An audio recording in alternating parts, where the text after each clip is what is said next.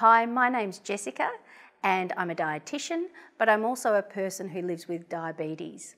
I've had type 1 diabetes since I was 22 years old, which means that I've had it for quite some time now. And I have had a whole range of experiences with the ups and downs of living with diabetes. Carbohydrate counting is really near and dear to my heart because I do it every single day.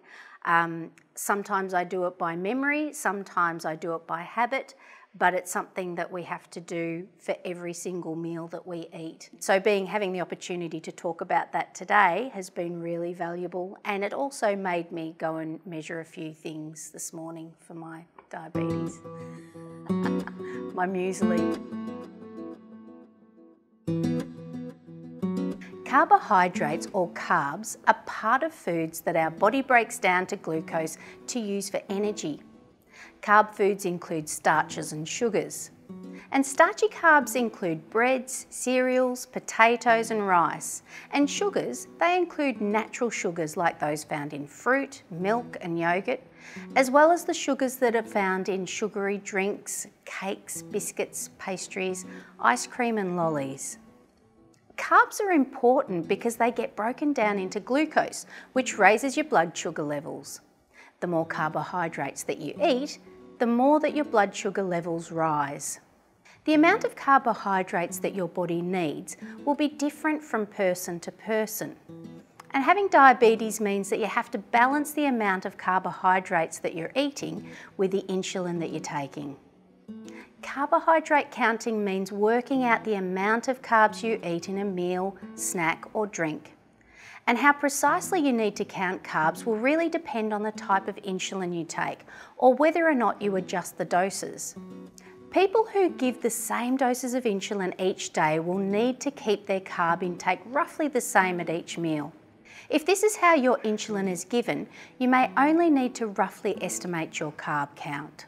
Those who adjust their insulin doses at each meal using insulin pens or a pump will be able to eat different amounts of carbohydrates and given an insulin dose to match this. This does need more precise carb counting.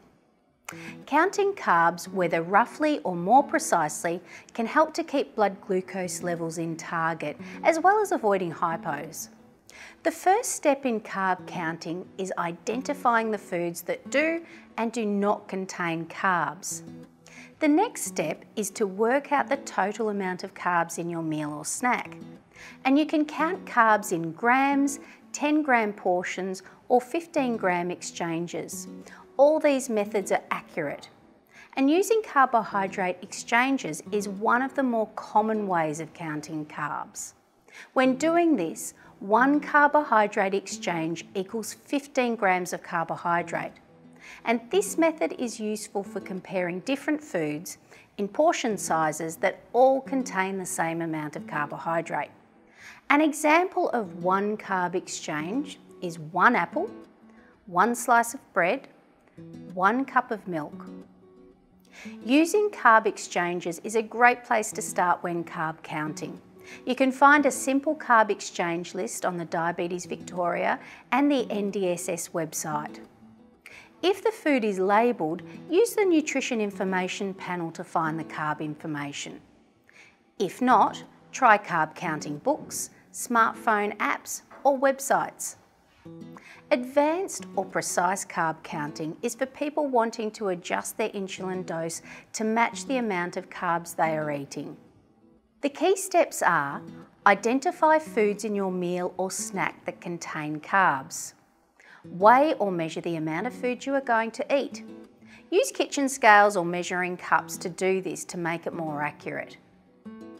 Work out the amount of carbohydrate in your serve, and this can be tricky and it can involve some maths. But practice will make it easier and over time a dietitian can help you learn these skills. Counting carbs is one thing, but you might be asking, how do I know how much carb I should be eating?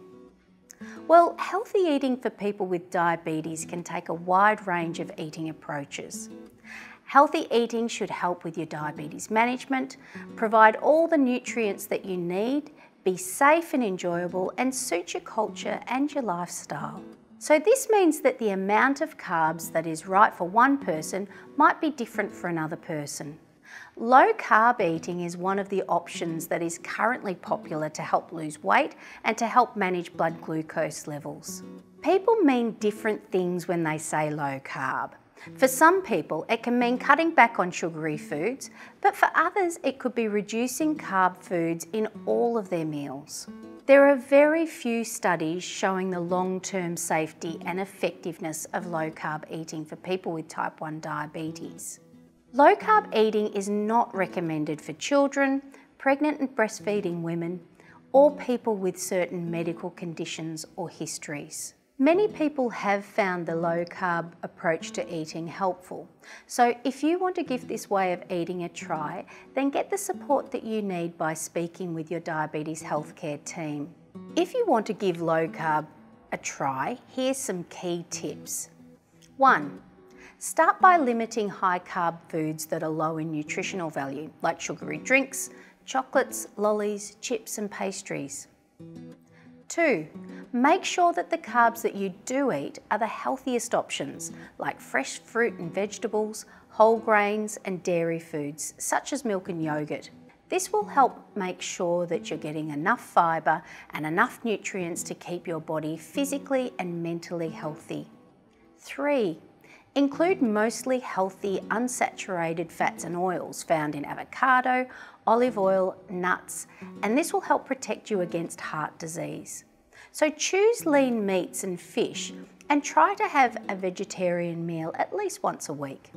Four, you may notice some side effects when you start a low carb diet, like headache, fatigue, and constipation.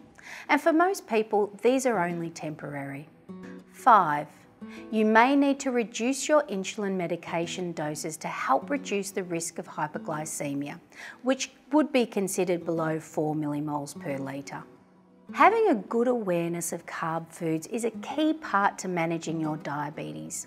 The best way to work out how much carb is right for you and how carb counting can help is to talk to your diabetes team. An accredited practicing dietitian who is experienced in diabetes is a key part of this team. Other places you can learn more about carbs include attending a Carb Smart program, and this is an introduction to carb foods, particularly for people with type 2 diabetes. Working through the NDSS carb counting modules, and these are online modules to get you started with carb counting. If you have type 1 diabetes, you might like to attend the OzDAFNE program. OzDAFNE stands for Dose Adjustment for Normal Eating, and it's a five-day program which covers carbohydrate counting and adjusting insulin doses, as well as how to manage exercise, illness and hypoglycemia.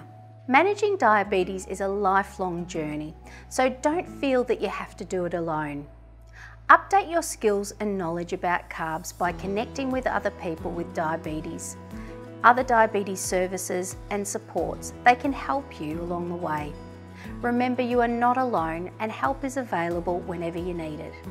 I really encourage people to skill themselves up with their carbohydrate counting, to practice, to not be too tough on themselves when it doesn't work, but to really give themselves the opportunity to manage their diabetes in the best way that they can. Um, and that's part of one of part of the puzzle of diabetes management is carb counting.